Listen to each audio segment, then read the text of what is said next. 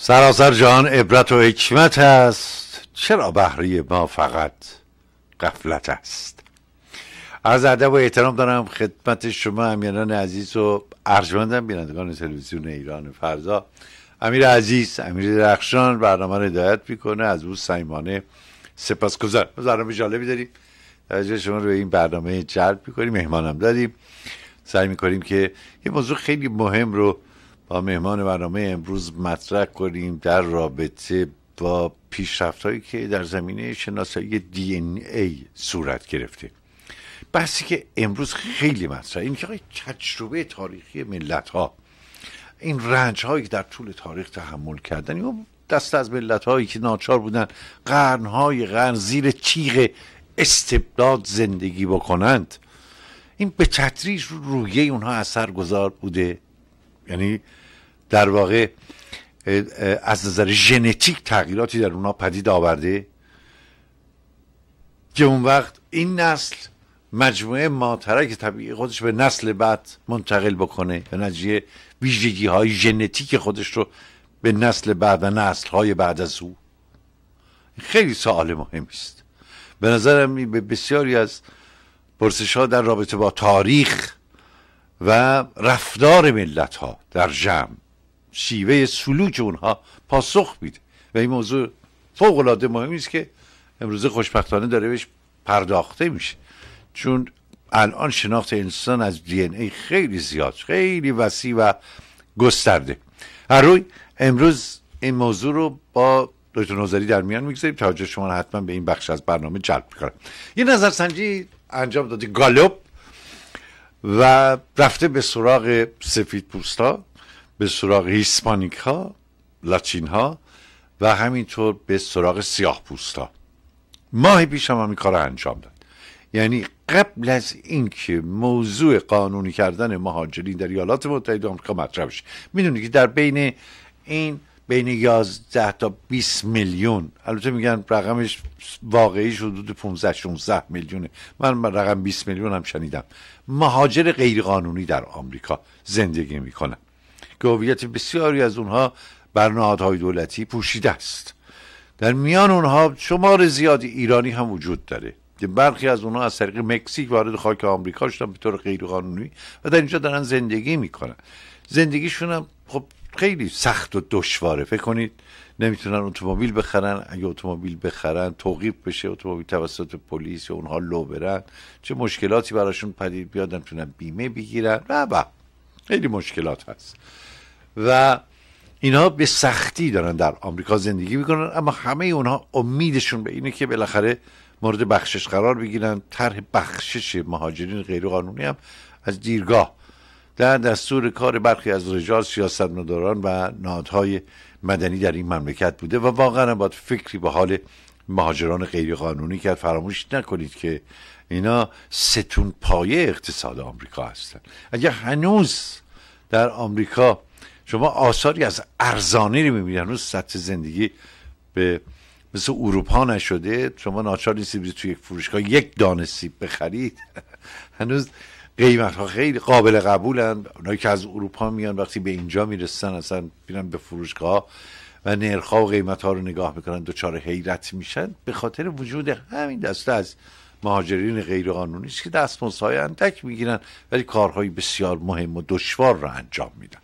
مهم و دشوار. خب در اینجا البته مسئولان و معموران هم چشم خودشون رو میبندند روی فعالیت های اقتصادی و تجاری این گروه از مهاجران غیرقانونی چون می‌دونه چقدر وجود اونها مسمر ثمره چقدر مفیده به حال به حال اقتصاد شهری مقصد در این ایالتی که ما در زندگی کنیم این شهری که ما هستیم یعنی لس آنجلس. خب پرزیدنت اوباما یکی از هواداران بخشش مهاجرین غیرقانونی است. میگن در مرحله نخست اگر این لایحه اجرا بشه 5 میلیون تن مورد بخشش قرار می‌گیرند ولی یه دشواری بزرگ اینه که اگر به اینها تابعیت ایالات متحده آمریکا داده بشه هر کدام حداقل می‌تونن 5 6 نفر 7 نفر 8 نفر بسته به تعداد عائلهشونه به طور قانونی وارد آمریکا بکنن.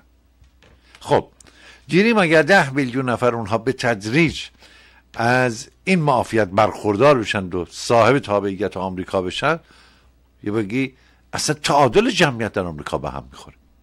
تعادل جمعیت برخی محاسبه کردن که در وهله نخست اگه واقعا به کسانی که در حال حاضر غیر قانونی یعنی یک جا تابعیت داده بشه صد میلیون ناجان بر جمعیت آمریکا اضافه میشه. صد میلیون تن. محاسبی است که برخی از اقتصاددان ها کرده بودن. خب این به معنای در هم ریختگی تمام عادات معلوف در این مملکت همه چیز به هم میریزه. تعادل در هم میریزه. مجهولات بزرگی هم پدید میاد. با این صد میلیون نفر باید چه کار کرد؟ چون هم انتظاراتی دارن درخواستایی دارن. بعدم می‌خوان از حق قانونی برخوردار بشن چون همه تا تابعیت آمریکا رو در واقع به دست میارن. یعنی شهروند این مملکت و باید از حقوق برابر برخوردار باشن. این مشکلات عظیم ایجاد می‌کنه. خب حالا رفتن به سراغ لاتین تبارها در این مملکت. ببینن که الان پرزیدنت اوباما چه وضعیتی داره در نزد اینها. اینها امروز هوادار اوباما شدن؟ چون اوباما دچار تنگناست در محبوبیت. دچار تنگناست. یه چیز حدود آخرین نظرسنجی گالوب نگاه می‌کردم پنجاب و دو سه درصد سیاست های رو رد می‌کنن یعنی اکثریت مردم اکثریت قاطع. یه چیزی حدود بین 40 تا 44 درصد رو تایید می‌کنه. یعنی اقلیت. چه امروز پرزیدنت اوباما از نظر محبوبیت در تنگناست. فراموش نکنید وقتی اوباما در صحنه سیاست آمریکا ظاهر شد سوپر استار به معنای واقعی کلمه بود. یک سوپر استار با تمام ویژگی سوپر استارهایی در ابعاد هالیوود. و عجیبه حالا بعد از دو دوره اوباما با چنین افتی روبرو شده از نظر محبوبیت. خب اما این اقدام اوباما ناگهان انبوه Hispanic ها رو پشت سر او قرار داده. الان در آخرین نسل سنجی چیزی حدود بله 64 درصد از هیسپانیک ها اسپانیول ها لاتین تبارهایی که اغلب مهاجران غیر قانونی در این مملکت هستند از سیاست های او حمایت و پشتیبانی می‌کنن خیلی مهم. 64 درصد. این رقم در بین سیاه ها بیشتر هم هست. یعنی چیزی حدود 80 درصد. یک ماه پیش سیاپوستانی که از اوباما حمایت می‌کردن بالای 83 درصد بود. حالا اندکی این فروکش کرده رسیده به 80 درصد. و سفیدها کماکان رو 31 درصد. یعنی هم کماکان اقلیت 31 درصد. هیچ تغییری در در شمار هواداران پرزیدنت اوباما در نزد گروه سفید ایجاد نشده. رو هم 31 درصد مانده. خب این نشانه تغییر وضعیت در اینجا. اما نگاه می‌کردم به انیستو پژوهش های پژوهش رسانه های خاورمیانه. که در ایالات متحده آمریکا منتشر میشه. رفته به سراغ استفتاهایی که صورت گرفت یعنی سوال شرعی توسط رزمندگان داعشی از رهبران مذهبی خودشون وقتی میگن رهبر مذهبی یعنی منظور ابوبکر بغدادی است. که خلیفه خلیفه مسلمانان به حساب میاد در نزد داعشی ها خب می‌دونیم که داعش هزاران دختر و زن سنجری رو یا سنجاری رو سنجره دیگه می‌دونیم اسم منطقه سنجره به خاطر بیشترین کارهای عمرانی در دوره سلطان سنجر سلجوقی در همین منطقه صورت گرفت. بعدی که داعش حمله کرد به به اماکنی که در اونجا ایزدی ها زندگی می‌کردن خب اینها ناچار به ترک خانه و زندگی خودشون کنن همه پناه بردن به ارتفاعات سنجر یا سنجار در اونجا و این ارتفاعات محاصره شد داعش موفق شد حدود پنج هزار دختر و زن سنجری رو به اسارت بگیری که اینها امروز رسما در متون داعشی کنیز محسوب میشن یا بردگان جنسی. به طور رسمی. حتی قیمت هم براشون گذاشته بودن که حتما ایراک نیوز رو مطالعه فرمودید. این لیست نرخ و قیمت زنان ایزدی و مسیحی رو اعلام کرده بود که اونا رو چند میفروشه. چنان این زنها رو تحقیر می‌کنن و از اونها به عنوان شیطان پرست یاد می‌کنن. از ایزدی ها میگن قیمت اینها نباید بیشتر از چهار احشام باشه. یعنی قیمت اینها نباید بیشتر از گوسفند باشه. زنان و دختران رو باید در همون قیمت گوسفند به خریداران فروخت. یعنی تا این حد اونها رو تحقیر می‌کنن. دنیا هم که ساکت نشسته هیچ کاری نمی‌کنه. البته نماینده ایزدی ها الان در واشنگتن. امیدوارم که بتونه کاری برای هموطنان خودش انجام بده که این گونه اسیر شدن این گونه تحقیر شدن از خانمان رانده شدن. و روی در این سالات شرعی که رزمندگان از رهبران مذهبی خودشون کردن یکیش اینه که آیا اگر یک رزمنده داعشی که خودش زن و فرزند داره با یکی از این زنان با این برده های زن روبرو شد. می‌تونه با اونها همخوابی کنه؟ یعنی نیازی یعنی کار غیر شرعی نیست اگر یکی از اونها سوال خیر منفی است. می‌تونه. آیا اگر دختری یا زنی ایزدی یا مسیحی عادت ماهانه داشت میشه با او هم خوابه شد؟ پاسخ مثبت. آیا کسی که یک زن اسیر رو می‌خره می‌تونه اون رو باز بفروشه. یعنی شخص دوم می‌تونه رو باز خرید بکنه و اگر خرید می‌تونه بلا فاصله با او معاشقه بکنه یا با او هم خوابه بشه. پاسخ ما. یعنی پرسش هایی که واقعا مشمعیز کنند است. دردناک شنیدنش برای عصر و روزگار ما. با ما در هزاره سوم داریم زندگی می‌کنیم. این ماشین عظیم خاکبرداری در خاورمیانه و شمال آفریقا. آفریقا بگیرید از سومالی و مالی گرفته تا نیجریه و بوکو حرام و بیاید تا این سوی خاورمیانه این طرف که کالمان خاک برداری داره کماکان ادامه پیدا می‌کنه. خب همین نهج برنامه جالبی داریم. توجه شما رو به برنامه امروز جلب کنم اجازه که تا لحظات دیگر برویم به سراغ مهمان برنامه.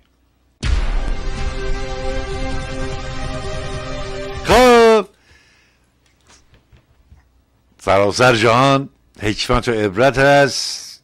چرا بهره ما فقط غفلت وقتی به تاریخ نگاه می‌کنیم و این مجموعه رنج ها و صدماتی که برخی از ملت ها در اصل روزگار ما تحمل کردن نه یک قرن و دو قرن.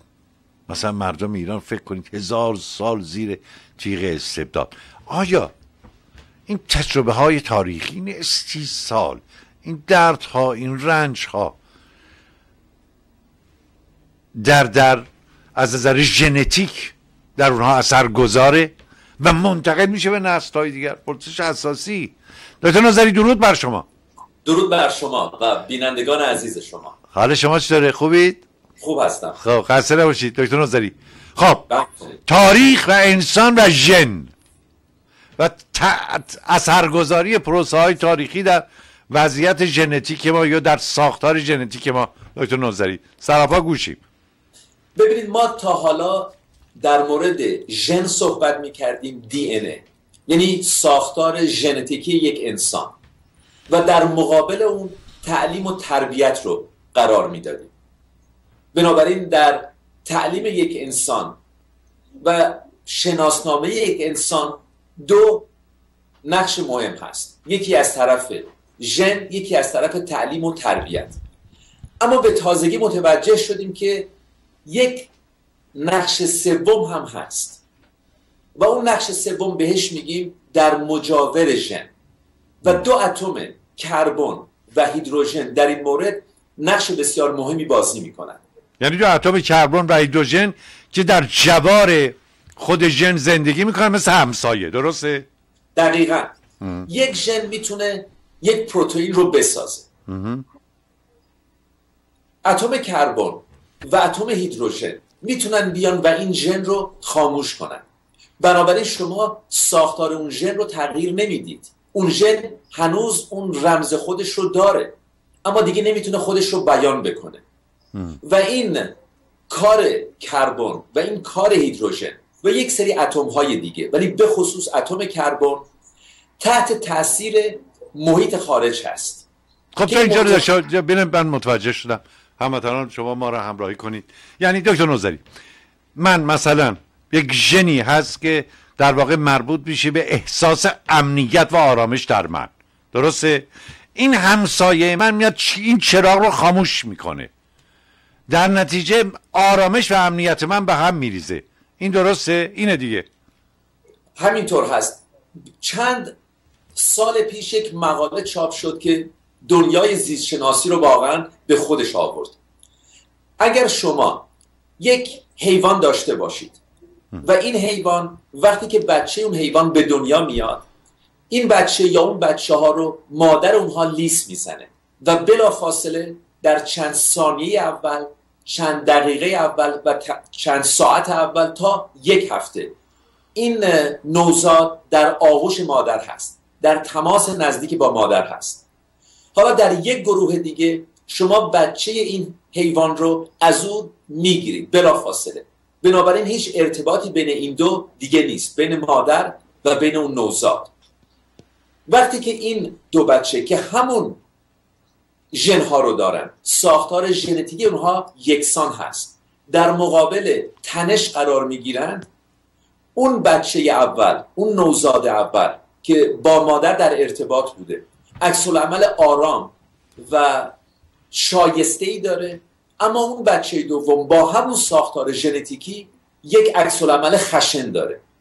و این دانشمندها این گروه پژوهشی گیرنده هایی رو که ما به اون میگیم گیرنده های گلوکوستروید یعنی گیرنده هایی که مسئول ایجاد فشار در انسان هستند وقتی که شما میترسید این گیرنده ها شروع می‌کنن عکس عمل نشون دادند و اینها نشون دادند که این گیرنده ها در این دو نوزاد کاملا متفاوت هست.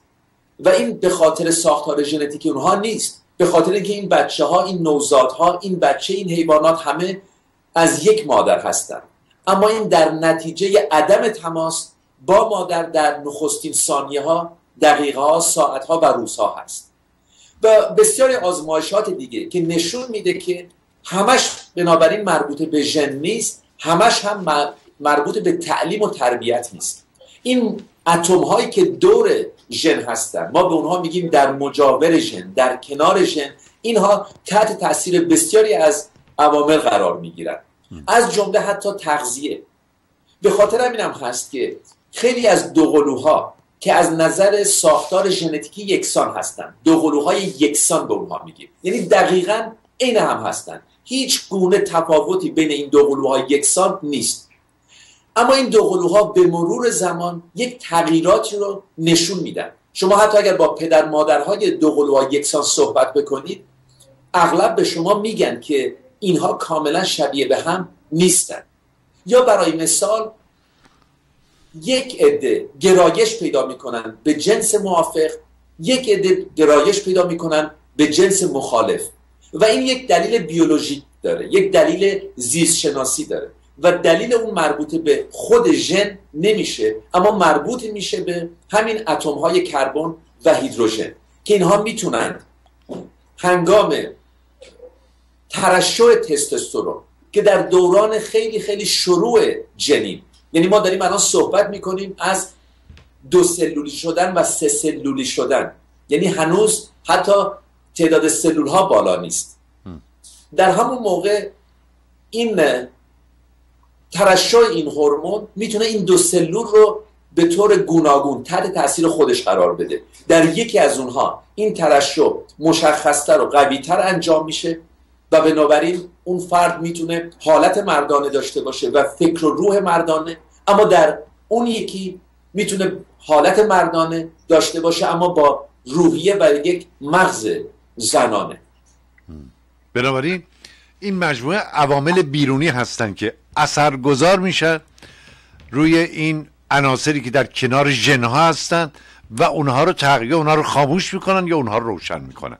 و در زمانی که هنوز نوزاد به دنیا نیومده. و به خاطر همین حرف شما در ابتدای سخنتون کاملا درست است. یعنی این اتفاقی که میفته روشن و خاموش شدن ژن می‌تونه حتی به نسل‌های بعد هم منتقل بشه. کما اینکه در حیوانات حیواناتی که در تماس با مادر نبودند این حالت تنش این حالت خشونت رو به فرزندان خودشون هم منتقل کردند. خب بنابراین به سادگی میشه فهمید که ملک ها که سلوک های مختلف دارن رفتار و عادات گوناگون دارن. برخی خشنند برخی خیلی زود جوشن برخی دیر جوشن برخی صمیمیان برخی مهمان دوستن برخی قریب نوازن برخی خودی گدازن. اینا همه مربوط میشه به تجربیات تاریخی اونها و تاثیرات دنیای بیرونی در طی تاریخ روی اونها که از نسلی به نسل دیگر منتقل میشه. خود دی اگر شما بازش بکنید دو متر طولش هست. دو متر طولش ها دو متر طولش هست. چطور دو متر؟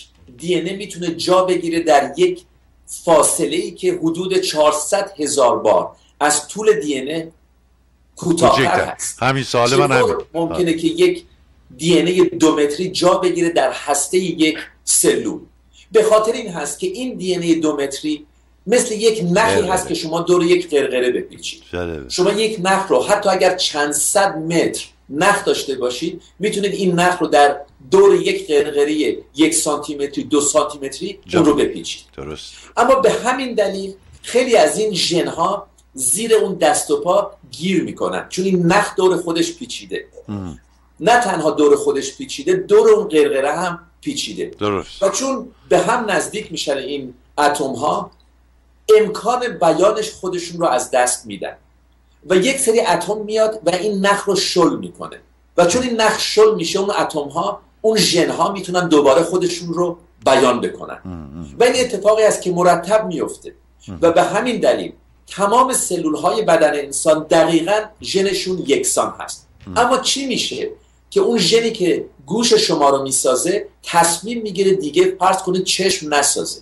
و اون ژنی که چشم می‌سازه تصمیم می‌گیره دیگه استخون نسازه. در صورت که اطلاعات ژنتیک تمام سلول های ما دقیقا یکسان هست. دلیل اون این هست که این ژن ها مرتب خاموش و روشن میشن. یعنی سلول هایی که الان در بافت استخوانی شما هستن اون ژن که مسئول ساختن فرض کنید بافت های گوش هستن خاموش میشن. کار نمی‌کنن. چی اونها رو خاموش می‌کنه؟ این اتم هایی که راجبه به اونها صحبت کردیم. اونها رو خاموش می‌کنن. مسئله این هست که اگر این اتفاق به این شدت داره میفته چی میشه اگر این خاموش و روشن شدن به جا انجام نشه؟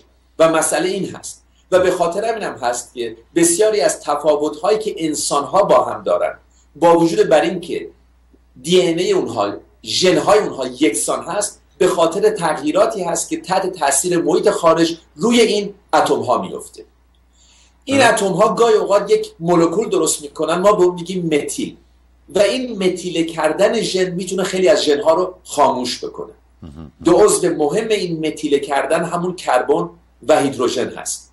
عدد اتمی کربن 6 هست و این اتم بسیار منحصر به فرد هست. و به خاطر همین هم هست. به خاطر خصوصیات خاصی که داره در این کار مؤثر هست و در دوران تحول و دیگرگونی انسان این نقش به خصوص به این اتم داده شده. اما ما مولکول های دیگه ای هم داریم مثل استیل شدن ژن. یک مولکول دیگه هست که اون می‌تونه بیاد بچسبه به ژن و ژن رو روشن بکنه. و یا ما یک نوکلیک اسید هایی داریم که بسیار کوچک هستن. از نوکلیک اسید های معمولی RNA هستن. اونها می‌تونن بیان و این نقش رو بازی کنن. یعنی به قول اون نخ رو که به دور اون قرقره پیچیده شده یه خورده شل بکنن که بتونه اون ژنهایی که در بایستی خودشون رو بیان کنن خودشون رو بیان بکنن.